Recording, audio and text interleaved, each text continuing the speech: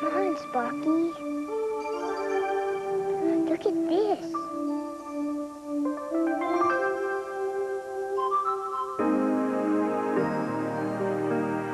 You still look sad.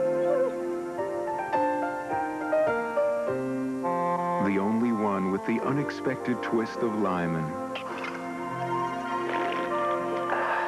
Hopes your holiday has a little unexpected smile.